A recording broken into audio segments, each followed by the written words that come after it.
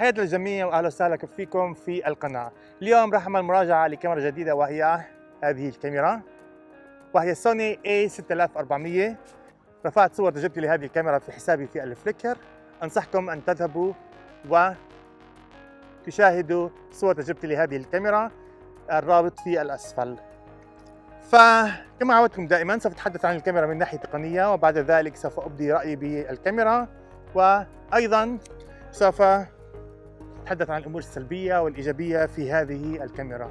ومرة أخرى ما تنسوا تعملوا سبسكرايب ومشاركة هذه القناة مع الجميع وما تنسوا تقرأوا جرس الانبهات حتى يصلكم كل شيء جديد برفعه لهذه القناة. فخلينا نبدأ وخلينا أرجع للمكتب.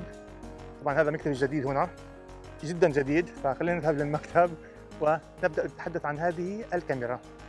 قبل البدء بالتحدث عن هذه الكاميرا بحب أوضح نقطة مهمة جدا. المقطع في البداية صورته قبل أربع أسابيع. وبكل صراحة في الفترة الأخيرة صار عندي نوع من الإحباط من قلة الدعم لهذه القناة من سواء كانوا المشاهدين سواء من الأشخاص الذين أجيب على أسئلتهم. بجاوب بشكل يومي على كثير من الناس. هناك فيديوهات جاوبت على أكثر من 2000 شخص. عند النظر في الإحصائيات أجد أن فقط 50 شخص قاموا بعمل مشاركة لهذه الفيديوهات. وبكل صراحة أنا شخص واحد بعمل على هذه القناة منذ سبع سنوات السؤال ليش هيك؟ ليش إنه أنت عم تستفيد ما بتفيد هذه القناة؟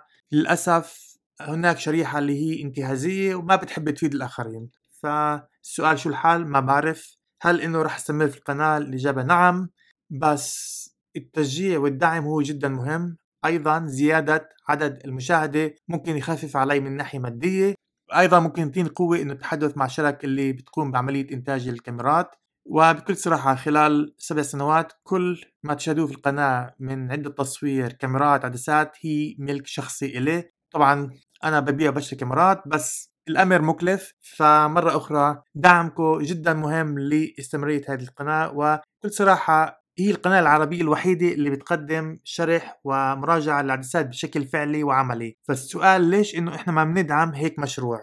سوف أعود لنشر الفيديوهات بشكل أسبوعي كما عودتكم دائما. فبتأمل الجميع إنه يشارك هذه القناة ما يكون بخيل. وتحديدا الأشخاص الذين أجيب على أسئلتهم ما تكون انتهازي فقط تستفيد ما تفيد هذه القناة. إذا أنت استفدت من هذه القناة فأقل شيء ممكن تعمله هو إنك تشارك القناة أو الفيديو.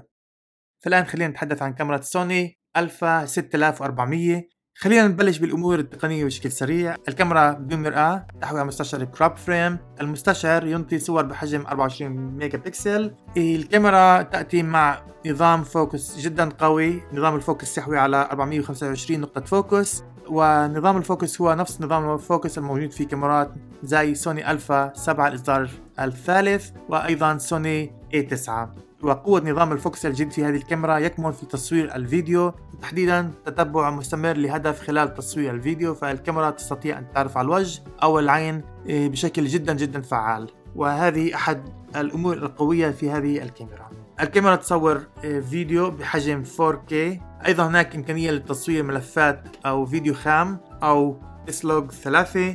وأحد الأمور القوية في هذه الكاميرا هو أن مدة تصوير الفيديو هي غير محدودة. أغلب الكاميرات في هذه الفئة سواء كان من سوني أو كانون أو نايكون أو فوجي فعمليا هناك تحديد ل 30 دقيقة لكل مقطع. طبعا هنا نستثني كاميرا سوني GH5 فهي أيضا لا تحوي على تحديد لفترة تصوير الفيديو لكل مقطع. ولكن سعر هذه الكاميرا 2000 دولار. الكاميرا تأتي مع شاشة بحجم 3 إنش تعمل باللمس وقابلة للطي بدرجة 180 درجة. هذا الأمر بنطيك إنه تصور سيلفي أو تصور نفسك. ولكن هناك مشكلة صغيرة في الشاشة هو أن إذا أردت أن نضيف مايكروفون إيه، سوف تلاحظ في هذه الصورة فعمليا الميكروفون سوف يقوم بحجب الشاشة. طبعا هي نقطة سلبية ولكن إيه، هناك حل جدا بسيط ممكن تشتري قاعدة. وتضع الكاميرا على القاعدة والميكروفون سوف يكون بجانب الكاميرا. الكاميرا تحوي على اتصال واي فاي وأيضا اتصال NFC الكاميرا تصور صور عادية بسرعة 11 إطار في الثانية وحساسية الحساس أو المستشعر للضوء تمتد بين 100 أيسو وحتى 32 ألف أيسو. وزن الكاميرا هو 403 جرامات. أيضا الكاميرا تحوي على عدة منافذ. هناك منفذ لميكروفون خارجي هناك منفذ واحد لكروت الذاكرة من نوع SD card أيضا هناك منفذ ل mini HDMI وأيضا منفذ ل mini USB. فعمليا هذه أهم الأمور التقنية بهذه الكاميرا. وسعر الكاميرا هو 1000 دولار في الولايات المتحدة الأمريكية وأيضا سعر يشمل عدسة سوني 16 ل 50 ملي جميع الصور في حسابي Flickr صورتها باستخدام هذه العدسة. العدسة هي جدا ممتازة كبداية. الآن رأيي الشخصي بهذه الكاميرا سوف أبدأ بالأمور السلبية في هذه الكاميرا.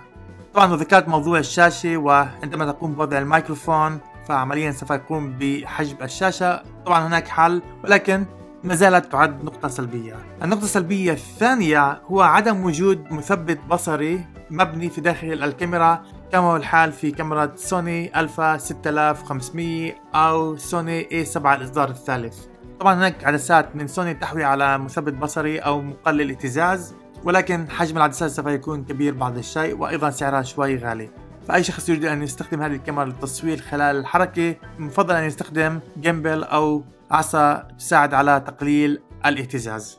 النقطة الثالثة السلبية في الكاميرا وهي دعنا نقول في كل كاميرات سوني البطارية. فعمليا خلال تجربتي لهذه الكاميرا استطعت أن أصور تقريبا كحد أقصى 400 صورة وأيضا تصوير 4K كحد أقصى حتى 90 دقيقة. ولكن مرة أخرى سعر هذه البطاريات هو جدا رخيص. ممكن تشتريها عبر موقع أمازون. سعر البطارية تقريبا 30 دولار. فبشكل عملي أي شخص يريد أن يشتري هذه الكاميرا بنصحه أن يشتري عدة بطاريات مع هذه الكاميرا.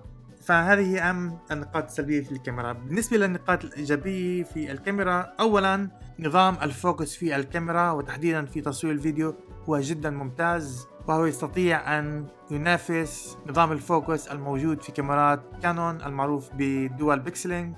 فعمليا هو جدا ممتاز.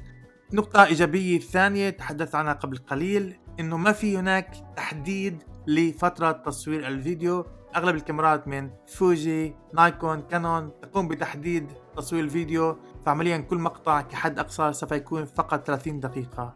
وهنا يأتي السؤال المهم هل أنصح بهذه الكاميرا؟ طبعا الإجابة دائما الأمر بتعلق في الميزانية. إذا ميزانيتك 1000 دولار بدك كاميرا لتصوير صور عادية وحجمها صغير عمليا أنصح بهذه الكاميرا. أما إذا أنت شخص بدك كاميرا لتصوير فيديو تحديدا بدك تصور أفلام طويلة أو محاضرات أو اجتماعات أو فعاليات أعراس إلى آخره وبدك كاميرا إضافية بتصور فيديو بدون تحديد وبتصور 4K وفيها نظام فوكس جدا قوي فعمليا أنصح بهذه الكاميرا. وهون خلينا أقول حسب رأيي هي أفضل كاميرا لتصوير الفيديو سعرها أقل من 1000 دولار.